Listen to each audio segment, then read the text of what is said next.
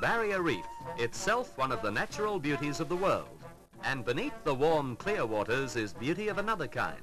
Fish in exotic colors and mile upon mile of variegated coral. It's the coral that Bill Wallace is seeking. He's been diving for it for 13 years, traveling up to 25 miles from his home on Dent Island to collect it.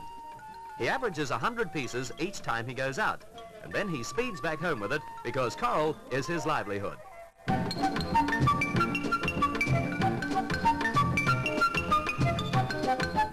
Bill Wallace has lived for 10 years on Dent Island, though he first saw coral 30 years ago when he was in the United States Navy.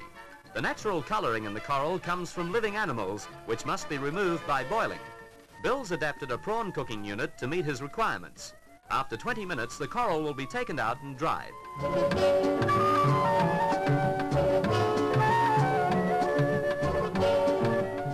It's here that Bill's wife takes over. The dried coral is now a basic white skeleton, and it must be colored by hand to bring it back to its former beauty. Artist's oils are used, deftly applied with a brush. It takes about half an hour to color an average-sized piece. Coral like this is peculiar to the barrier reef. Some is like hibiscus, some like lily of the valley. Other pieces are like large staghorns.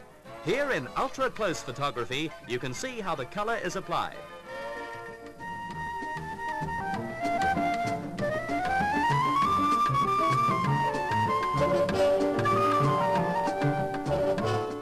Finished coral is set in different formations to be exported all over Australia as well as to the United States, the Argentine, Mexico and many other countries. And though coral looks delicate, it is like China in its ability to resist damage.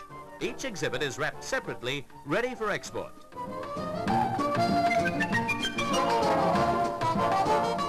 the beauty of the barrier reef exported to many lands. Artistic wonders from below the seas go overseas as a result of the unique industry of a couple who live on Dent Island.